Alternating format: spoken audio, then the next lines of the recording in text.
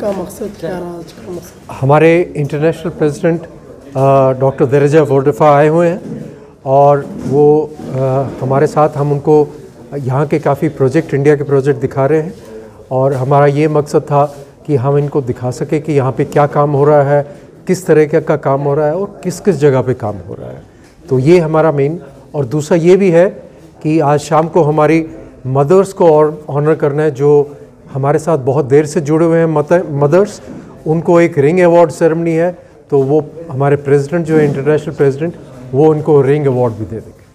क्या एम है sir India में स्टार्ट करने के लिए किस तरह के स्टूडेंट्स हैं? क्या एजुकेशन इनके लिए देते हैं? बच्चे ये बच्चे जो हमारे पास आते हैं उनके माँ बाप नहीं होते हैं पेरेंट्स नहीं होते हैं तो हम उनको अपने घर लाते हैं उनको पेरेंट की तरह ही अपनी फैमिली में रखते हैं और शुरू से आखिर तक जब तक वो पूरी पढ़ाई कर सकें तब तक हम उनकी पूरी देखभाल करते हैं और ये देखते हैं कि उनको एक अच्छा सा जॉब ट्रेनिंग के समेत मिल सके क्या क्या है की? जब हमारे पास आते हैं जब हमारे पास आते हैं दो महीने भी हो सकता है दस साल भी हो सकता है बच्चे की कंडीशन पे डिपेंड करता है इसमें डेवलप करने का अभी तो हमारा जैसे हमने कहा था कि हम अभी करीब तीस पैंतीस हज़ार बच्चों को देख रहे हैं हमारा प्लान है कि हम करीब सत्तर अस्सी हज़ार बच्चों की देखभाल करें। टोटल इंडिया में कितने सेंटर्स हैं और Bangalore? Thirty two thirty two all over India.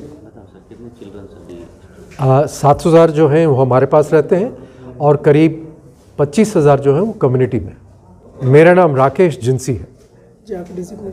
मेरा नाम मेरा डेजिग्नेशन मैं प्रेसिडेंट हूँ S O S children's villages India is village. How many centers are international in India? You can in brief Internationally, um, SOS uh, operates in 135 uh, countries and, and territories.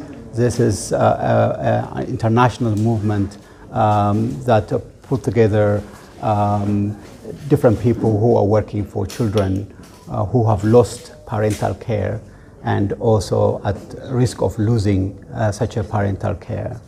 And uh, India has the largest uh, program, and uh, it provides care for children in family like care, but also works with um, communities to preserve families, families to stay together and look after their children in terms of their uh, health and education and uh, their emotional and uh, physical well-being. And this, SOS has been successful, um, but also I have witnessed uh, SOS is caring for children uh, with a special need, uh, those who have uh, physical or emotion, emotional disabilities and or impairment, those, for example, mentally challenged. It has been caring for many, many years. What is profound I witnessed here in India is the staff are very much skilled. They are professional, but more importantly, they are very kind and passionate. They do their job with um, high degree of dedication.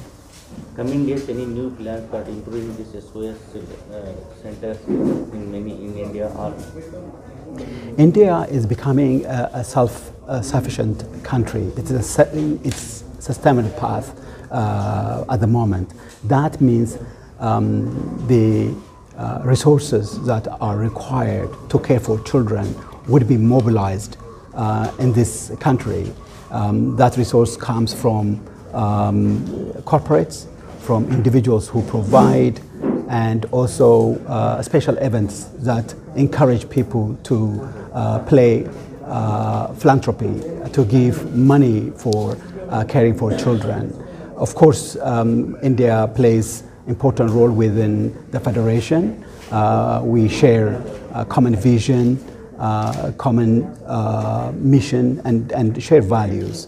Therefore, we can share resources in various ways through expertise, uh, knowledge uh, transfer, but collectively also we can speak out and stand for children collectively.